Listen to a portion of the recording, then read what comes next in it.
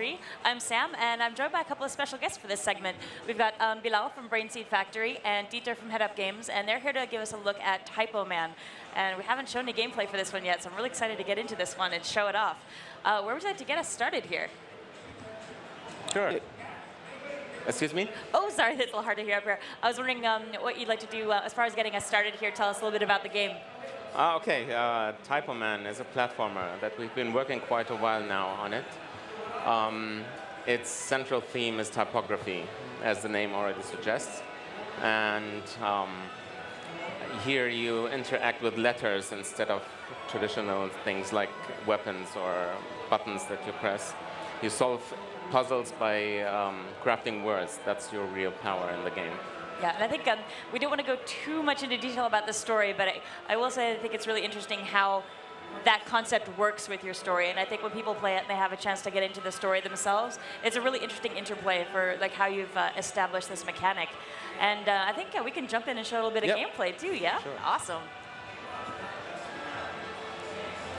So the first thing I think will really hit people when they see this game is it's got a really, really distinct aesthetic. Um, the way that letters are, are worked into so many little details. And it's a kind of a frightening place that we start off here. Um, can you tell us a little bit about how you developed the look of this area and this world?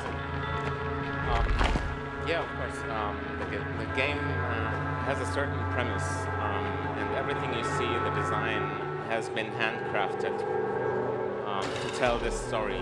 Um, you're uh, basically playing a character where you you yourself are made out of letters, and everything has to do with the story. You're you're the hero of the story. You have to um, overcome all these traps and monsters, but all you have is um, is all you can do actually is is move letters around and craft new words.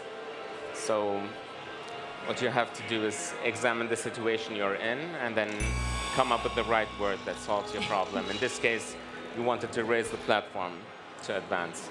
Yeah, I love how you work the tutorial into the initial gameplay here, where you're really learning how to use these letters to your advantage as you're progressing through.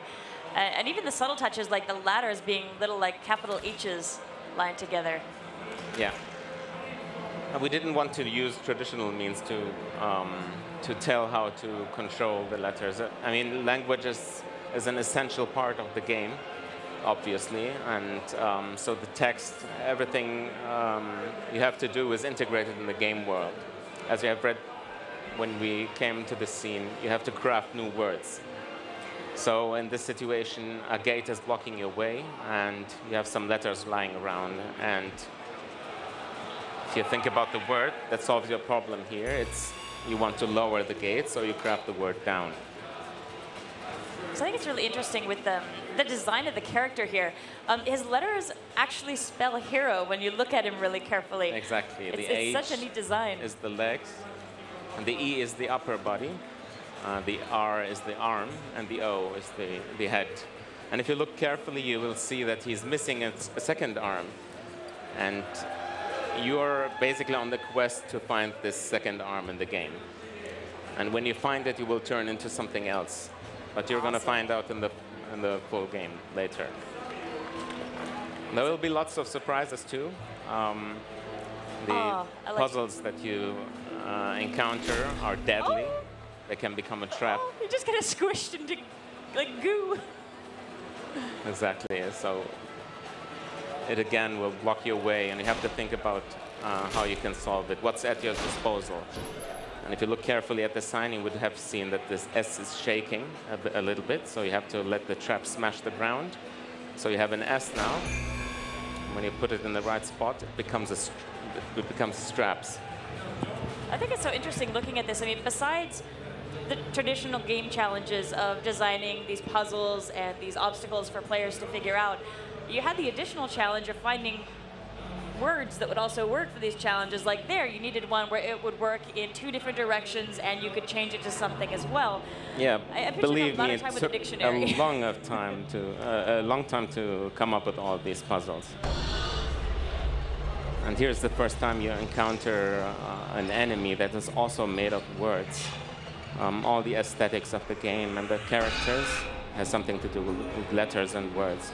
In this case here, um, a hate monster that tries to hunt you down, and it wants to rip your head off Oh, oh that's brutal. because it hates you so much, obviously. It's a really cool design, though. I love just how monstrous it looks. It's really neat, especially considering what a basic shape it has. Really, it's just this sort of silhouette, but it communicates a oh, communicates a lot of brutality. Yeah, like I said, you, you don't fight these monsters with traditional means and weapons. Um, in this case, you need to lure him into the crush platform.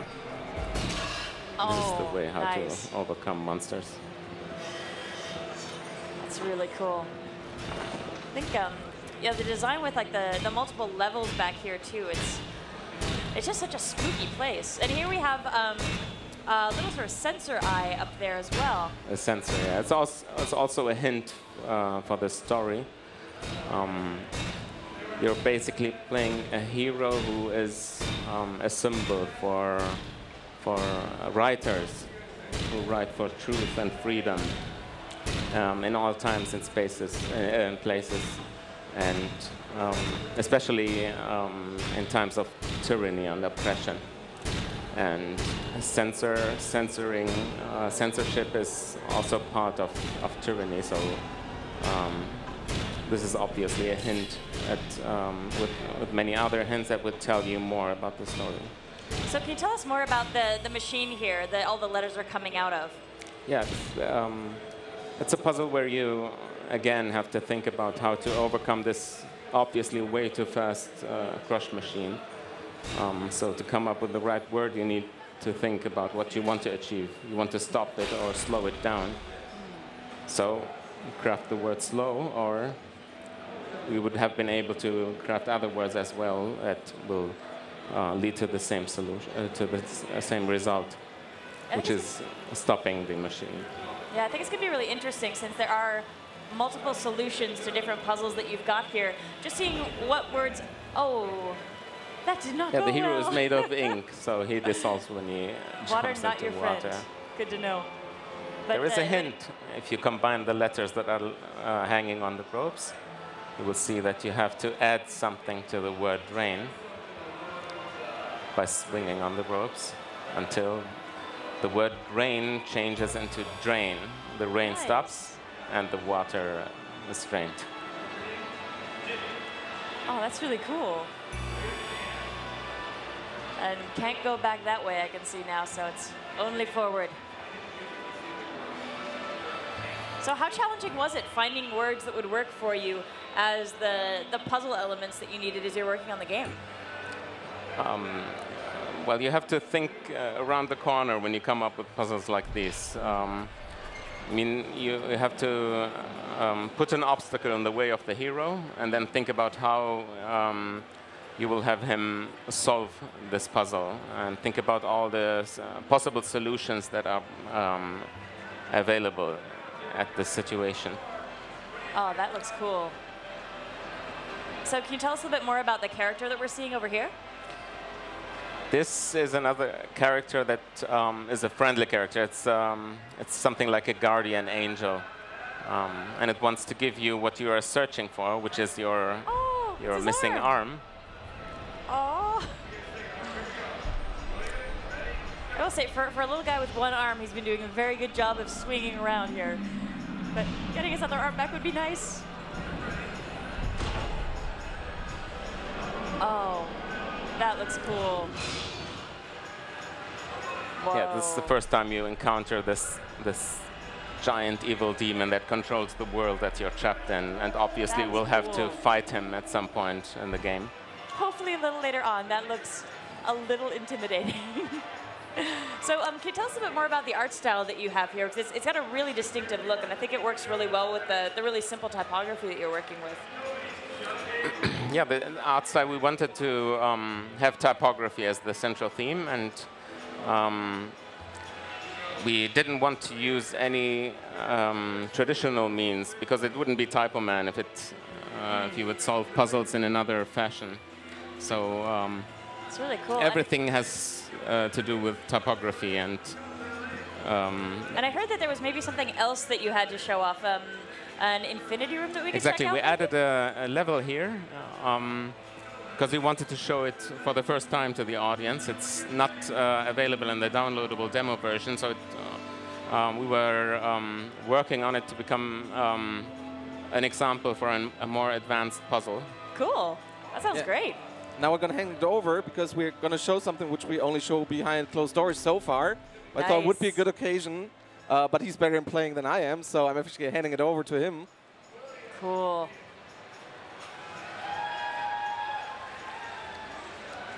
So this is what we call um, the writer's blockade.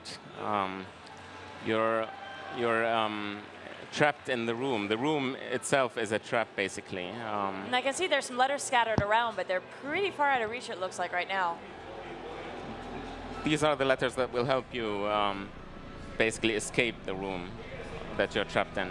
But if you try to go backward, you will see that you reappear at the uh, Oh, other side. nice. And I see that there there are several sensors. It looks like here. I can see. Um, it looks like two of them have the the red eye open, but the other two, I, I guess they're not active right now. It looks like they don't, they don't have the red to them right now. Some are active, some are not. And Oh wow. when you try to push letters in the area of the sensor, it will destroy it. So what you have to do here is overcome your fear and jump into the pit. Cool. And then you will see that it helps you uh, escape, or rather craft the word escape, because this is the word that you are searching for. Ah, I see. So you have to get all the, the letters for escape actually in the same place before you're actually able to get out of here. Yeah.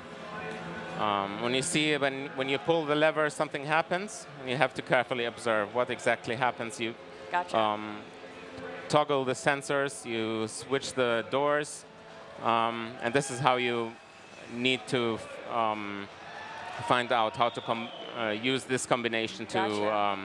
Bring the letters to the sensor uh, to the center, because that's where you want to craft the new word. If you push the letter in the Oh. area of the sensor, obviously you cannot. So you, this is um, a bit tricky, a bit brain teasing. Yeah, it seems like it would take a lot of uh, trial and error here to figure out exactly what combination of like steps you have to finish because you want to make sure that's okay. The the right sensors are turned off so I can actually get the letters past them, and also making sure that these doors that are coming up and down are out of the way in the right order so you can actually get the letters together. That's right.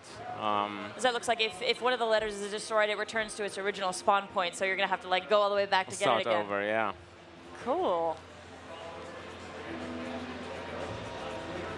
But after a while, you will see that um, the, the, lev- le- the lever in the upper level will um, do something different than the lever in the lower level. And then you have to find out in which combination you need to, to, to toggle them so that you're able to move the letter without the sensor having, having it destroyed. So again, if I push it here, it will be destroyed, and then I would have to start over and Gotcha. Yeah, it it seems back. really worthwhile to figure out exactly what the range of these sensors is because there it seems like there's certain times where maybe you can sneak by them, but if you're too close, and you just have to kind of get a sense of, of what that range is that they're actually going to pick you up. yeah. Ah, and I see now it's off. Nice. So I turned off the sensor now. I'm gonna try to go there.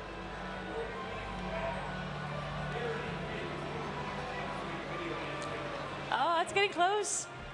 I've played it a couple of times, but still I have to think very much. I know it's weird playing games up here too. It's just ignore all of the people. it's a different kind of environment. it is.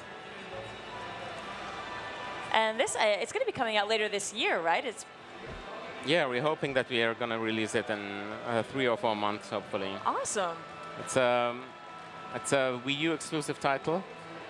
Um, yeah, and we've So it looks like you've got all the letters, just a matter of reordering them now. Oh, it's getting close.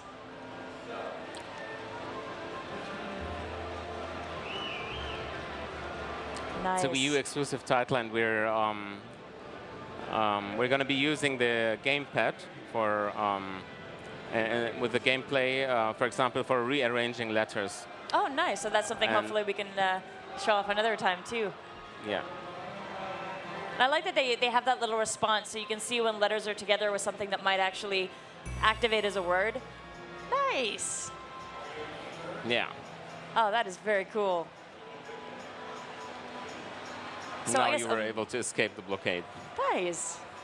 Well, um, one thing that's worth mentioning here, um, this game is part of our Nindies at Home program. So folks are watching, if you want to try out this demo, it's going to be there. And uh, if you download the demo, I think the week of E3 we've got it active. There's actually a 15% discount when the game comes out. So I know I'm going to get this one when I get home. I just actually have to fly home so I can be near my Wii U and start downloading all the games. Awesome. But uh, thank you so much for stopping by. Is there anything else you'd like to tell us about this game as we wrap up? Sorry, come again. I don't. It's really noisy here. Oh, no worries. Yeah, we've got a lot going on in the booth here. I'm just wondering if there's anything else you'd like to tell us about the game as we wrap up.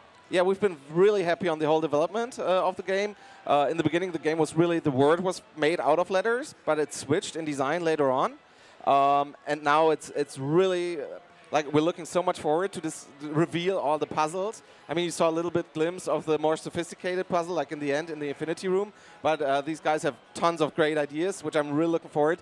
Even even us as the publisher, we know only half of it by now, uh, so we're really excited to see what these guys will deliver.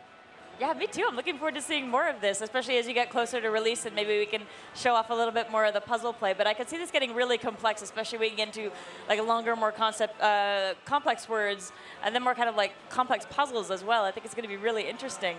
Cool. Well, um, thank you so much, guys, for stopping by and giving us a look at this game. And again, this is available on Nindies at Home, so if you would like to check it out, just uh, download it on your Wii U. Thanks so much. And um, folks who are watching, please don't go anywhere. In a few moments, we'll be back.